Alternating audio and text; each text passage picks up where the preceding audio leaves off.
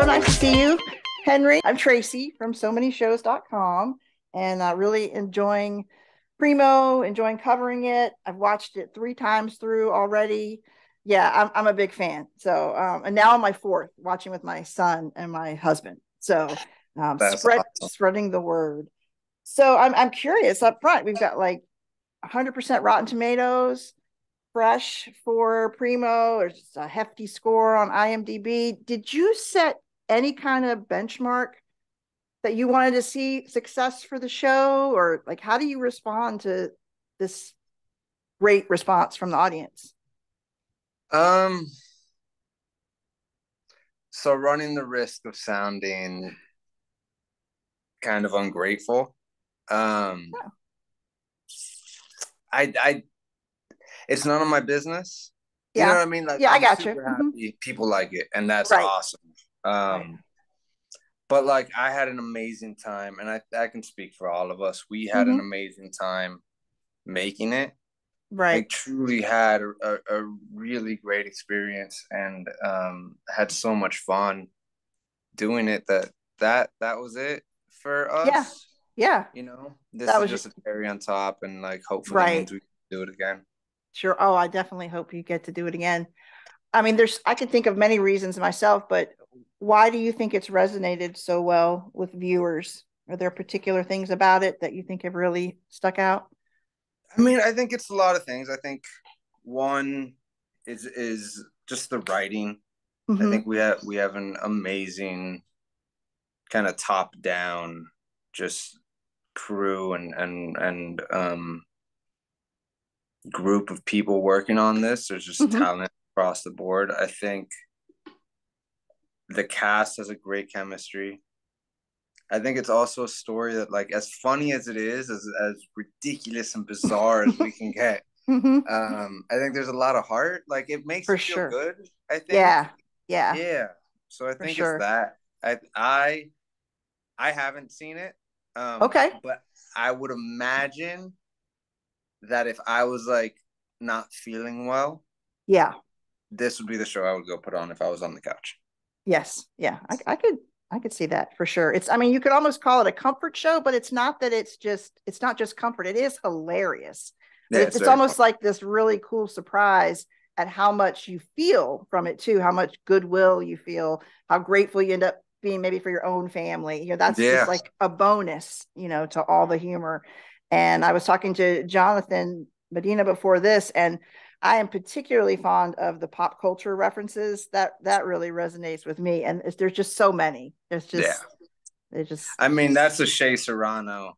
Okay. Yeah. Yeah. With his signature. The king of of, of pop culture references. Yeah.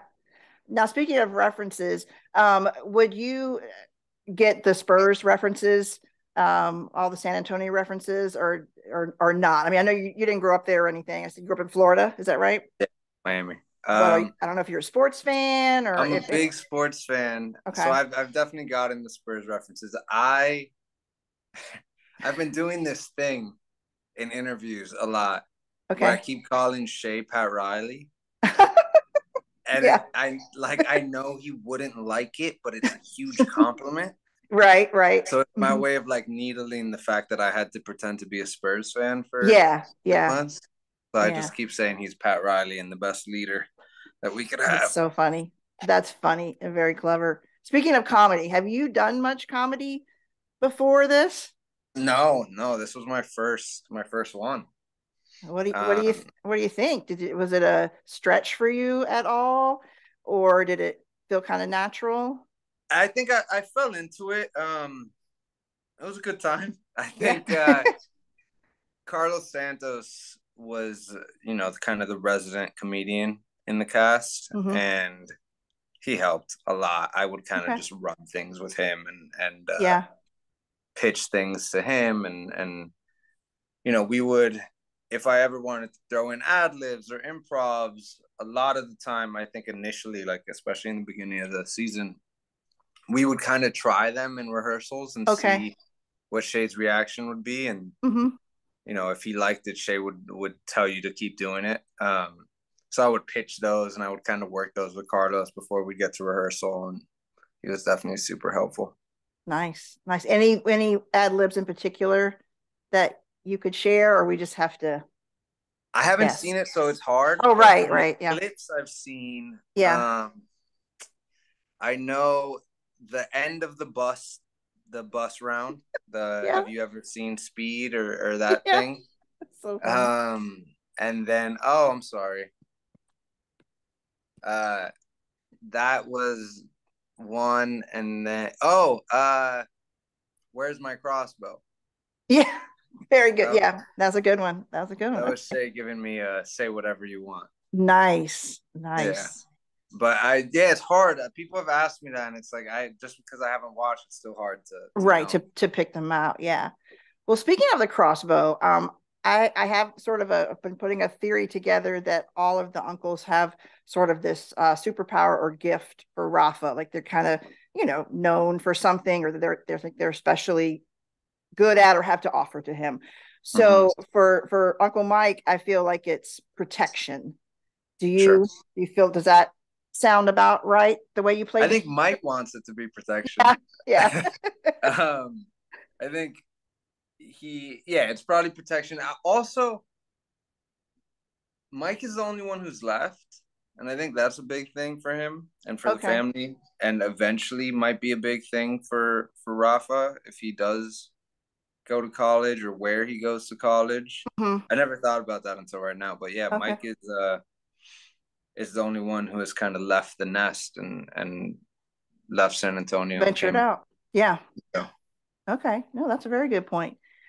Now, um, did Shea offer any guidance to you or the other actors who played the uncles as far as with it being, you know, I don't know how loosely, but but definitely had some some base in his own history with his uncles. Did did like he tell you anything about Uncle Mike or? Yeah, I mean, I it wasn't super specific. Um, okay. it was more like I would go to him like the glasses. Mike mm-hmm. always wearing his glasses. Um, yeah. that was that was an idea I had early, and I was like, I just feel like I should have yeah. on my head at all times.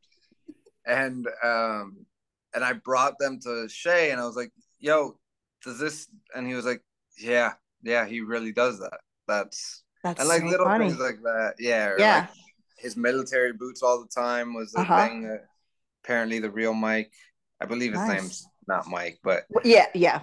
I was gonna say his real name, and then I stopped myself. That's okay. Uh, the, uh, I believe the real Mike is always in military boots too. Okay, okay. Well, sounds like you've really captured that essence. That's awesome. Um, now there are so many pairings and combinations of the uncles, and also you know pairings of uncles with Rafa. Like I love that there's a great mix. Like it's not always just Rafa. I mean, just Mike and Rolly, for instance. You know, we see you interacting. Yeah your character with all the different uncles. Did you have a little? It's hard to say, probably, but like a favorite pairing that you worked on, a scene that you worked on. I mean, my favorite bit is definitely the roof bit. Uh-huh, uh, yeah, yeah, that like, and and Jonathan's incredible, and he's so good in that. Um, but it's it, it's just the bit I think is so great that Mike held on to this for 10 years to get somebody back. Like yeah. I'm a big fan of Petty. Like yeah. I Petty Petty always works with me. Like if someone yeah. gets me back on something and is super petty, I almost always, if it's clever, yeah, just give them credit. I'm like, well mm-hmm. done, like, well played. Um, and I think that for Mike, ten years sitting on that, Jay should be proud of him. Well, I think it aligns well with the the military background too, because in the military, you're not going to just make a move because it's convenient or you want to do it now, you're going to strategize. You got to wait till the time is right. So. Chess, not checkers. Yes, yeah. Now, your character, Uncle Mike and and Ryan, um, of course, they have mm. the beef with the certificate degree. So that's that's a that's a great bit that comes up. Um, but those two characters are the youngest. Is that right? The youngest yeah. of the brothers. Okay.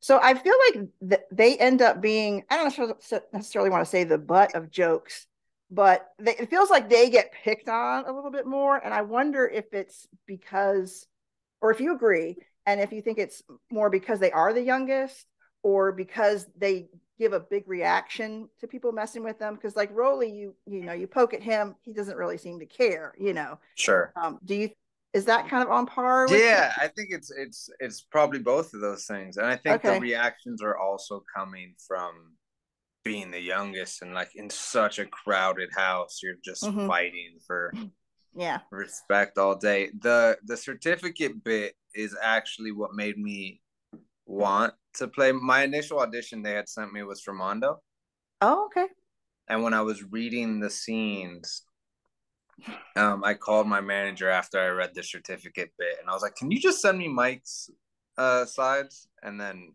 that's yeah. So that was what made awesome. me want to play Mike. That's really cool. That's really cool. Now you weren't involved with the scenes with the outfit as much, the white pants and the pink shirt, but we did right. we did see Uncle Mike model them, you know, at the end.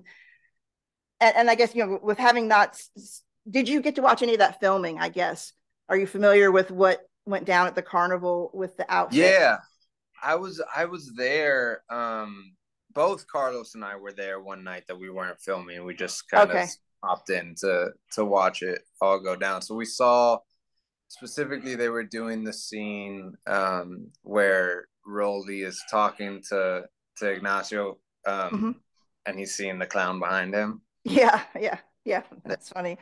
Those those bits with when um when Rafa is you know fighting or you know arguing with the the kid who took the money um in that part of the storyline and like he he throws a drink on him and nothing nothing gets on the shirt it just comes right off he tries to push him and his hands slide right off i mean that that some of that physical comedy I, i've heard my husband laugh some of his biggest laughs during that so so i guess my point is even though you weren't in the scenes with the shirt so much i'm glad i'm glad that that uncle mike shared that outfit with Rafa because that was really funny. He's doing he's doing good work out here. He's doing good work for sure. Um, now, do you have a dog? I I thought I read somewhere that you have a dog. I do have a dog. Okay, I thought it kind of made me think maybe Mike should have a dog. Like it would be fun if he had like one of those like canine trained dogs. My dog looks like the type of dog Mike. Yeah, yeah, yeah. So I I just want to plug that maybe for hopefully a season two that maybe Mike should have a dog. I think that would be a great like accessory to Mike's. I agree. Persona. Like Mike, the truck, and the dog. Yes. Yes. Yes. Yes. Winning scene. Okay, let's go with that. I'm, I'm putting that out there. Um. Okay, I have a few sort of rapid fire questions before we go. I'm trying to get every every uncle's opinion on these. So, um, we had the big Gonzalez barbecue. Uh-huh. So for you, Henri, what's the best item someone can bring to a barbecue? Food item. What's your favorite? Burgers. Burgers. Okay. All righty. And who of the cast, the actors, not the characters, but the actors, who would be the toughest opponent in a real life round of Game Champ? You said the actors or the characters? The, act- the actors. The actors. Mm-hmm. Uh, Carlos. Okay. Okay. And now, now back to characters. What award would you, Mike, give the character of Drea? Um, what award would you give her for the Wall of Accomplishments and Praise? Best Sister in the World Award. That's a good one. That's a good one. And and again, um, I mentioned this to Jonathan, not to stir up favorites or trouble. you said the full name for the wall. Oh, I, yeah, I had to. Yeah, no, I'm not, I'm not going there. I was very specific about that in my notes. Um, if you could pitch why why Mike should be the favorite uncle, like it's it's impossible for everyone to pick a favorite uncle, but if you had to pitch like a two sentence pitch for for Uncle Mike, why should he be someone's favorite? Because he's smart and disciplined and handsome, and what else does he say? Many things. So he has he has a long list. yeah, yeah, yeah.